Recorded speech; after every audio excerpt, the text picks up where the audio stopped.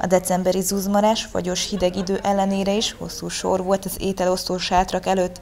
Szombaton délelőtt a város több, összesen öt pontján várták a kalocsai lakosokat egy közös meleg ebédre.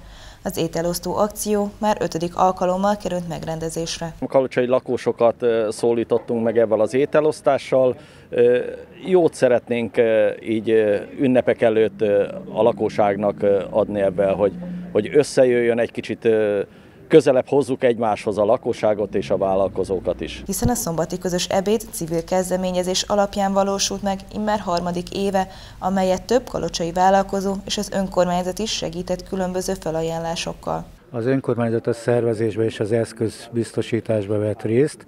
Megkérdeztük, hogy mi is részt vegyünk, azt mondták, hogy nem, illetve annyiból, hogy a Menza Kft. főzte meg a 1200 adagot, tehát ennyivel besegítettünk és hát gyakorlatilag a helyszíneken a sátrakat, padokat mi biztosítjuk, és ennek örülünk, hogy a vállalkozóink összefogtak, és kimondottan kérték, hogy pártok ne vegyenek benne részt, csak a civil szerveződések, és az önkormányzat csak a koordinációt lássa el. Ez volt a meglepetés az ideibe. A közös ebédre nem csak rászoruló, nélkülöző embereket vártak, bárkit szívesen vendégül láttak egy tám meleg ételre, így több mint 1200 adag fogyott el rövid idő leforgása alatt.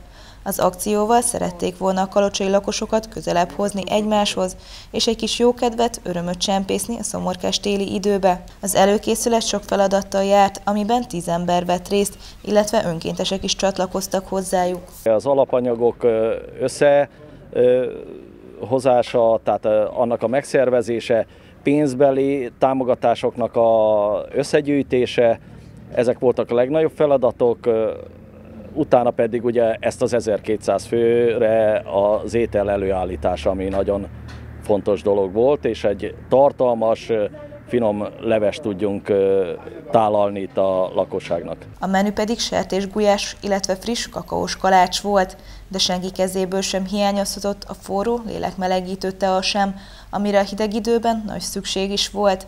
De a szervezők a legkisebbekre is gondoltak, így marokszámosztották a szaloncukrokat a gyerekek legnagyobb örömére.